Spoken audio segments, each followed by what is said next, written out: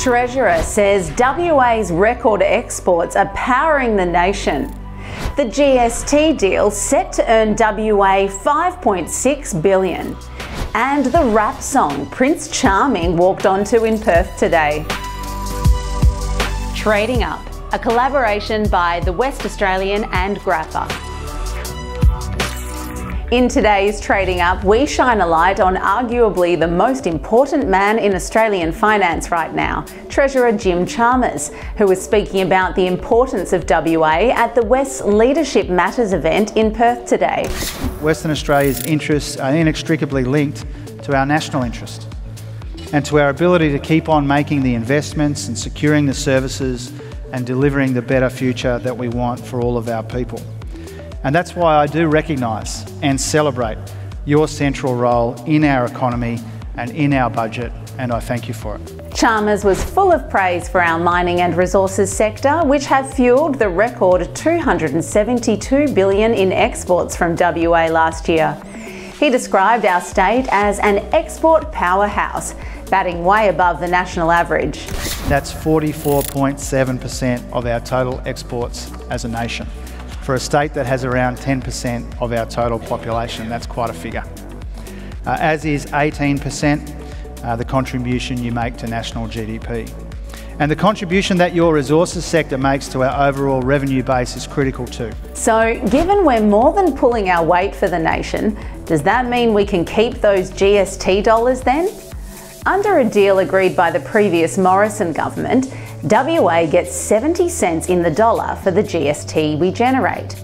And the Treasurer was in no mood to reverse the GST deal, at least not just yet. He said it will be reviewed in three years' time. Historically, you've done pretty well out of it.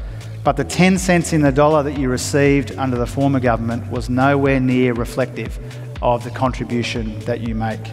And I'm proud of and I'm committed to the changes that went a long way towards rectifying this. So now that we've got the GST money locked away, what about the 2.4 billion in extra tax the government is grabbing from LNG producers? Well, it seems it could have been a lot higher without consultative conversations with the gas industry.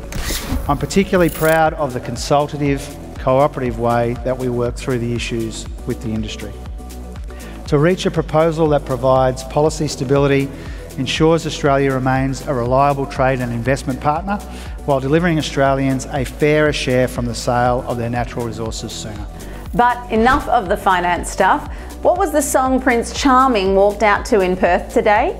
None other than Notorious B.I.G.'s Hypnotize, of course. We didn't see that one coming. I've got to be honest with you, I thought that the high point of today was going to be this front page in the West Australian, uh, but uh, hearing Notorious B.I.G. as the soundtrack when you come up to the stage, Western Australia doesn't do anything by half. It turns out that Chalmers mentioned he liked rap music during a recent TV interview. And finally, Prince Charming was keen to link his budget surplus to the one Mark McGowan delivered last week.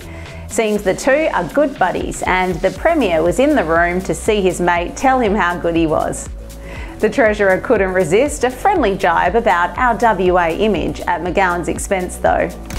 Uh, Mark, late at night a few nights ago, uh, I stumbled across a picture of you in the lead up to your own budget. You had a Swan Draught on the table, you had KFC next to you as well, ready to deliver your surplus.